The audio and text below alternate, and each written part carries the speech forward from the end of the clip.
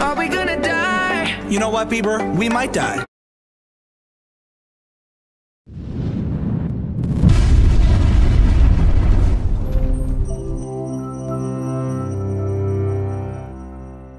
Another asteroid named 2006 QQ23 is passing close by Earth on August 10th. But is it gonna hit us? If something the size of this asteroid hits the Earth, it could devastate a statewide area. So stick close with me, cause I'm gonna tell everything that you need to know about this event. And do you also sometimes confuse between asteroids, meteors, and comets? Then watch the video till the end because I'm going to tell some quick facts about these ginormous space rocks. And don't forget to subscribe the video and hit that notification bell so you don't miss any updates whenever we post a new video. Let's get started.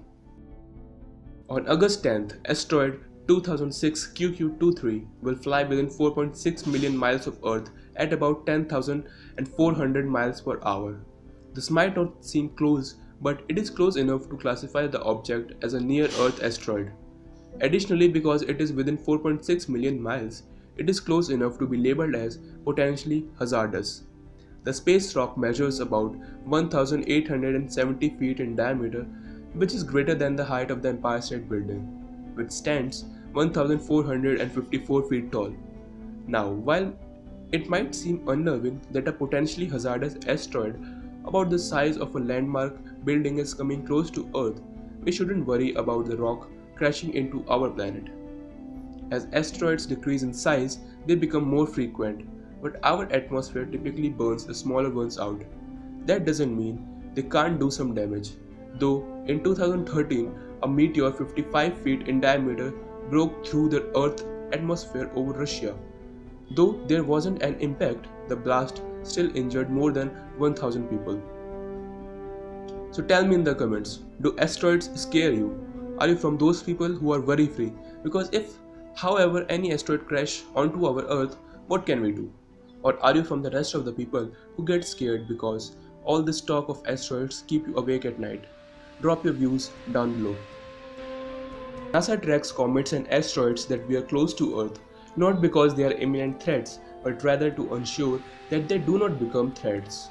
Every year, about 6 space objects about the size of asteroid 2006 QQ23 pass by Earth making this close approach a routine event.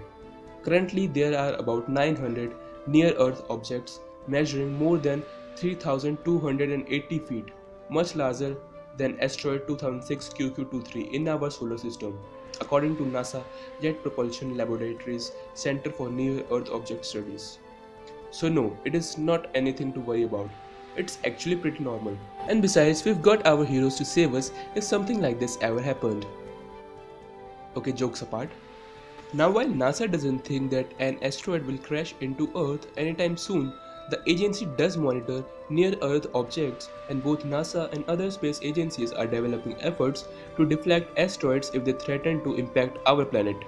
If, however, an asteroid was coming toward Earth that posed a threat and the agency had enough warning and capability, NASA would launch a space campaign to deflect the asteroid onto a different path.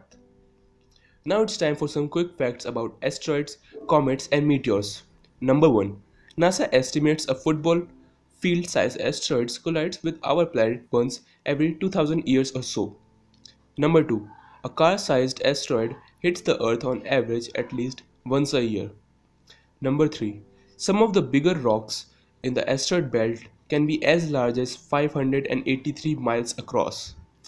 Number 4. As icy comets fly around the solar system, their outer layers sublimate in the sun's heat and leave behind a glowing trail. Number 5.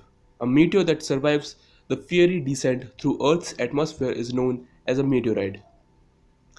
So that's all for today. If you enjoyed the video then press the like button to keep me motivated. And if you want to engage with me more outside the YouTube, then follow me on Instagram where we can chat for hours and talk about all the fascinating space stuff and you can also give me suggestions for new video topics. I will see you next time.